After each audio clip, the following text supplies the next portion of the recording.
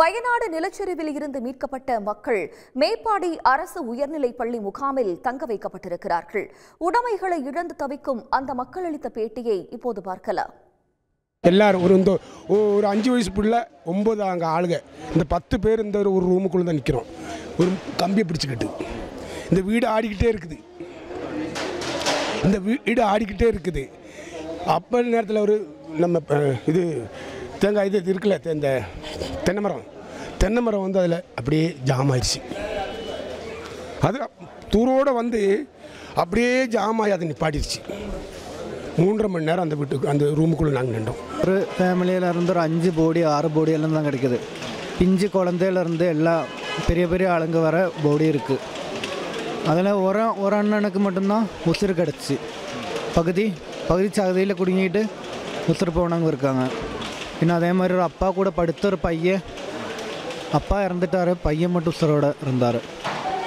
அதெல்லாம் எடுத்துகிட்டு வராங்க. ஃபயர் ஃபோர்ஸு ஆர்மி எல்லாம் கிரேட் ஒர்க் பண்ணனால ரொம்ப போடி எடுக்க முடிஞ்சுச்சு டவுனில் இங்கே ஒரு நாலு கிலோமீட்டர்லேருந்து மண் இடிச்சிருச்சு. மண் இடிஞ்சு அங்கேருந்து ஒரு பத்து நாற்பது வீடு அங்கேயே போயிடுச்சு பின்ன ஸ்கூல் பக்கத்தால் தான் வந்துடுது ஸ்கூல் பக்கத்தால் வந்து கம்ப்ளீட்டு அங்கேருந்து பத்து முப்பது வீடு அங்கேயும் போயிடுச்சு கீழே ஒரு பிரிட்டிஷ் காலத்தினோட ஒரு வீடு இருந்துச்சு.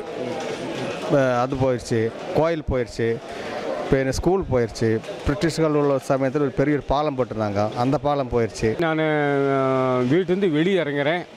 கழுத்து வர தண்ணி வந்துச்சுங்க. எங்களுக்கு ஓடுறதுக்கு முடியலைங்க.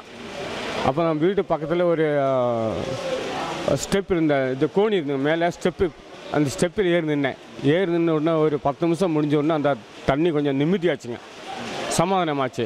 சமாதானம் ஆச்சு உடனே இன்னும் நிற்க வேண்டாம். நீ வீட்டில் இருக்க வேண்டாண்டு சம்சாரத்தை கையை பிடிச்சிட்டு நான் மேலே ஒரு மலையாக இருந்தது. அந்த மலை மலை மேலே ஏறிட்டு நின்றுட்டு இருந்தோம். பார்த்துட்டு இருக்கோம் மேலே இருந்து இடிஞ்சு சட சட சட சட சடன்னு தண்ணி வீட்டுக்குள்ள ஏரோப்ளைன் போகும்போது வருது. அப்போ இது என்ன இப்படி வருதுன்னு பார்க்கும்போது மண்ணோட வாசமும் நல்லா அடிக்குது. அப்புறம் நாலா பக்கம் இருந்து கூக்குறாங்க. வேகம் இடத்த விட்டு இடம் வேறு இடத்துக்கு போங்க வேறு இடத்துக்கு போங்க. எங்களுக்கு இடம் தெரியல. எங்கே போகிறதுன்னு தெரியல. கரண்டும் இல்லை லைட்டும் இல்லை பேனும் இல்லை ஒன்றும் இல்லை.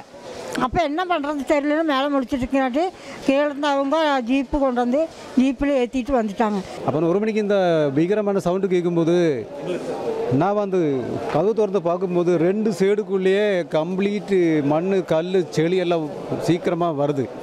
நான் வைஃப் கிட்ட கூப்பிட்டா எங்கேயும் இடிஞ்சு போச்சு. சீக்கிரமாக எடுத்து போ சாடி சீக்கிரம் சாடு. அப்படி சொல்லிச்சு. அப்படி சொல்லி நான் லெஃப்ட் சைடில் போய் இதில் போகலாம்னு நினச்சி பார்க்கும்போது அங்கேருந்து லெஃப்ட் சைடில் இருந்து கம்ப்ளீட்டாக மண்ணும் கல் சட்டி பாத்திரம் எல்லாமே வந்துக்கிட்டே இருக்குது சன் நியூஸ் வாட்ஸ்அப் சேனலை ஃபாலோ செய்யுங்கள். கியூஆர் கோடை ஸ்கேன் செய்து சன் நியூஸோடு இணைந்திருங்கள்.